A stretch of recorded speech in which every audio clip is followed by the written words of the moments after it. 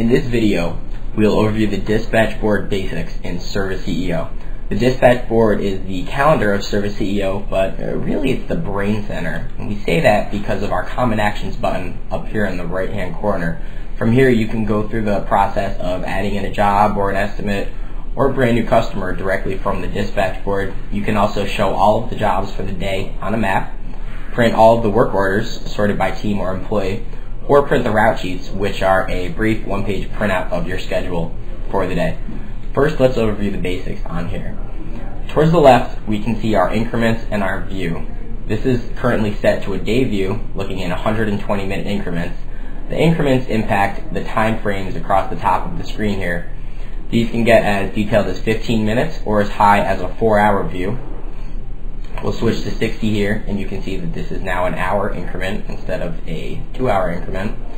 We also have a week view in the Service CEO calendar. This gives you the week at a glance and lets you really get a sense of how full a particular team or employee schedule is on a particular day.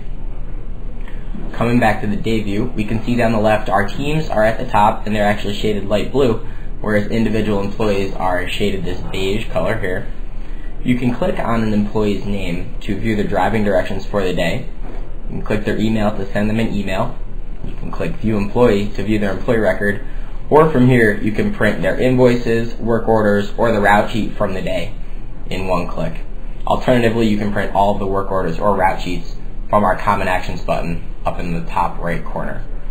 You can see across the top which day you are currently looking at Please note that the dispatch board will open to the last day you are looking at it in. To come to the current day, you can simply click this calendar button and click the today link, or you can click the double arrows to move forward or backwards one day at a time. Each of these blue bars is an individual work order in Service CEO. The picture you see here is actually linked on the sub status, which can be customized in Service CEO. We can click the blue work order bar to see the customer's name and their contact information. We can see the current substatus. You can click the link to open the work order. You can also view more contact information on the contact or more information about their physical address.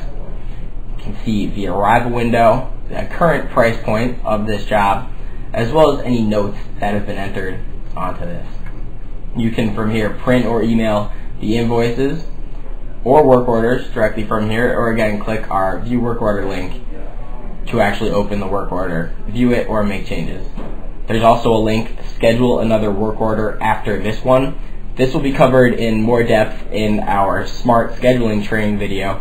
However, this pulls up a quick Google Maps and actually shows you the location of any jobs that are in our queues down here, unassigned, unscheduled, or earlier opening requests to allow you to figure out the most logical job to schedule after one were there ever any cancellations or you have a gap in the schedule so you can schedule your jobs as close together as possible. There's a key in the top right corner. What do these colors and icons mean? This very briefly allows you just to see exactly what color means what. Note that the colors of your statuses can be changed in the settings tab on the jobs and work orders option. The dispatch board is drag and drop, so to reschedule a job, for example, from the Anderson family here, we're going to reschedule this from 1.30 to 3, we'll simply drag this over. Note the green text over the blue bar tells you exactly which employee and time you're rescheduling for. Jobs can also be extended in length. For example, this appointment is not done until 8 o'clock. I can drag this out to 8 o'clock, and this will update the length on it, which ties over to the employee hours worked reporting. Let's talk about the queues at the bottom. The first is the unassigned work order queue.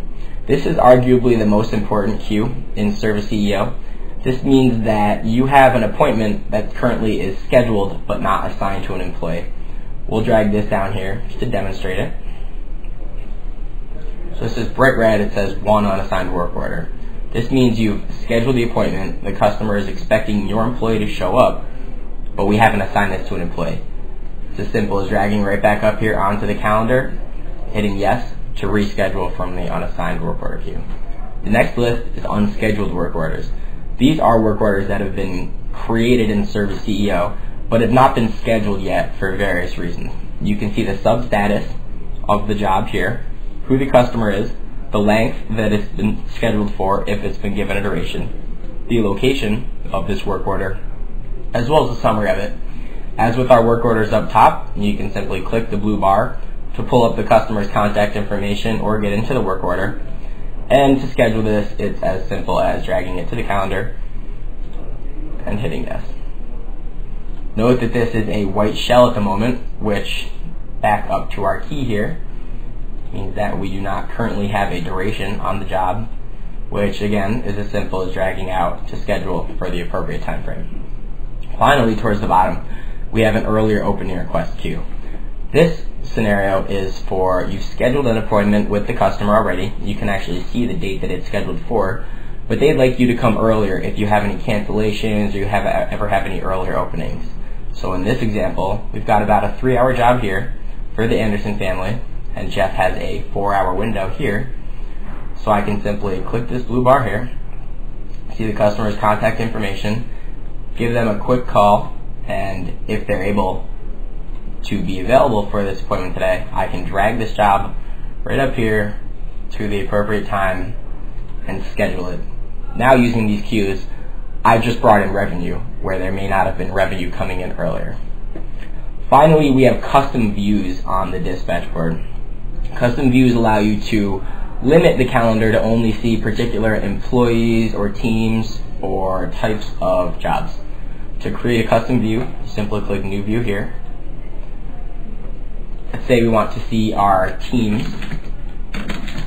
We'll set up a view. We're just calling it the Teams view. Note that you can filter by your business units. You can filter by who's assigned to it. In this scenario, we don't want to see individual employees. We only want to see our teams. So we deselect our employees and allow the teams to stay on here.